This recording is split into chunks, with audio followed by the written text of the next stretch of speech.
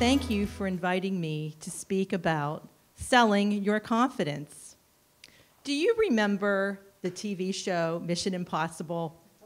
When the opening line was, Good morning, Mr. Phelps. Your mission, if you choose to accept it, is to stop Mr. X from blowing up the world.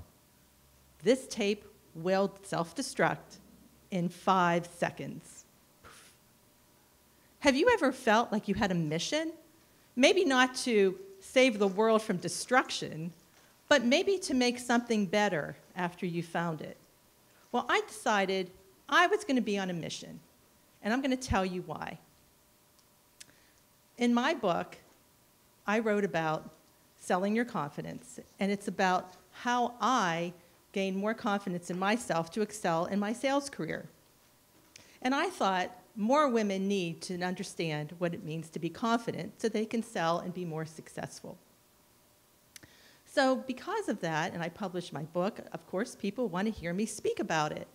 So, I go to this event with all these entrepreneurial women who are my ideal clients, and they're sitting there very professionally dressed, self assured, and successful in their businesses, so I think.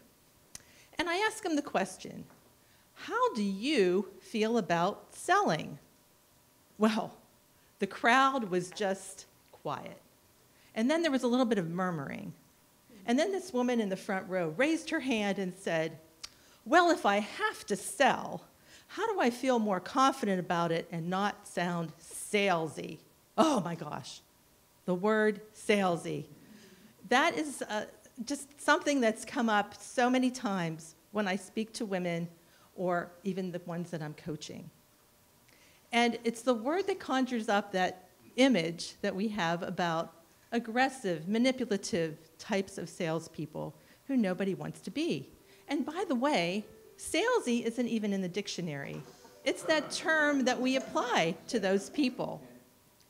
So I'm thinking about how important this word salesy is and how we're going to overcome this. And one day it just hit me that's it.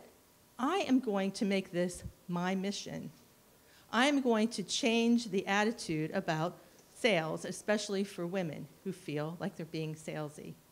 They need to be more authentic when they're thinking about everything that the other person is saying to them. They have to be empathetic. They have to want to listen to the problems and the needs of that person and also apply solutions so that they can authentically help that person solve their problem.